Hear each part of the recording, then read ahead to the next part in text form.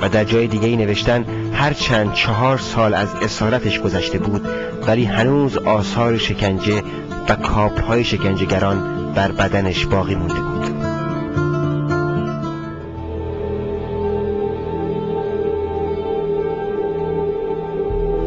خاموش سیاه چال دیوار سرد سنگ. معنوس با حجوم درد و ستیق بلند رزم.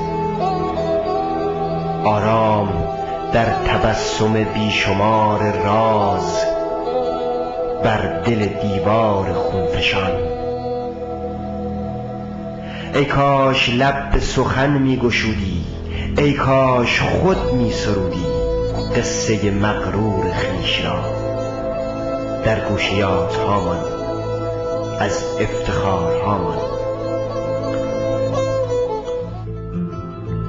وقتی فریدون در سال 64 می‌رفت چهار سال بود که یاد برادر کوچکترش فرهاد رو هم در لحظات سخت زیر شکنجه و هم در لحظات سرودخانی کنار همبندان زنده نگه داشته بود.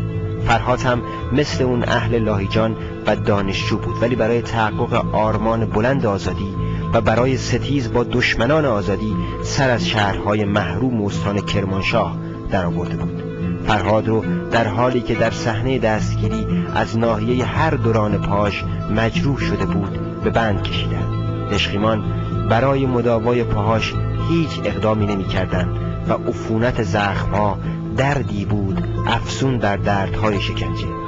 اما فرهاد هم مثل فریدون بشاش سرزنده و اهل شوخی و لطیفه بود.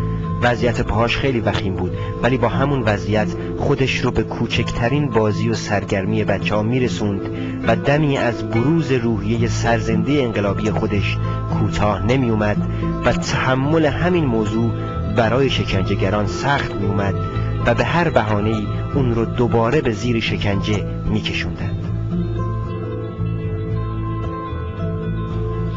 سرودی نبود که فرهاد بلد نباشه و در هر فرصتی سرود می‌خوند. و از ما هم می‌خواست که با اون همراه بشیم. یک شب که از خواب بیدار شدم دیدم فرهاد نشسته و بیداره. در تاریکی و کنجکاوانه نگاه کردم که چه کار می‌کنه. فهمیدم برای اینکه کسی زخمها و عفونت شدید پاهاش رو نبینه شبانه وقتی که همه خوابند به مداوا و پانسمان اونها می‌پردازه. برای همین سعی کردم که متوجه بیدار شدن من نشه. ولی تا صبح به اون و این روحیه قوی فکر کردم. پنج مهر شست خیابونهای تهران از فریاد مرگ بر خمینی قوقا شده بود. ولی در خیابونهای کرمانشاه اولین بار این فریاد از هنجره زخمی فرهاد ریاضی دوست بلند شد. دقیقا در همون روزها و در مهر سال شست فرهاد توسط پاسداران دستگیر شد.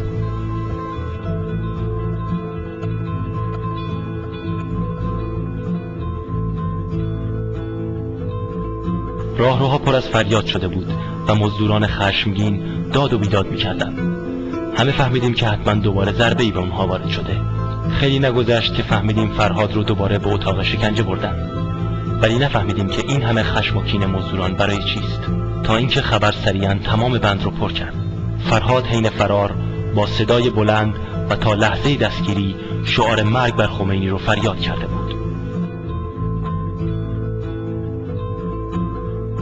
زندان کرمانشاه شبهای سردی رو میگذروند و مهرماه و بادهای سرد پاییزی آغاز شده بود. دشخیمان هم سعی می‌کردند با آمیخته ای از شکنجه و نیرنگ و فریب